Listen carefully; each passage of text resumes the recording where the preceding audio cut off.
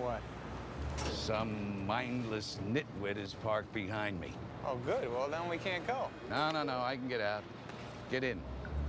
I don't know how you're gonna get out of this. Try to wiggle out, you're gonna get a ding. But you know everything.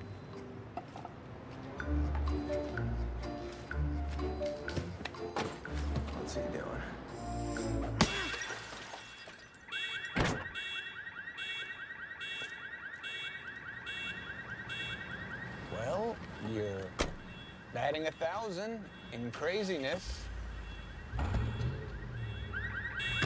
Now we're bumping into cars. I'm just making a little room to back up.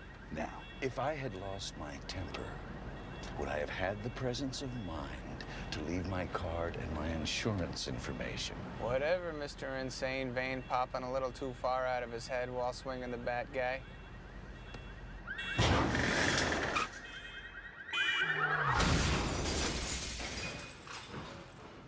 I think you've got room to back up.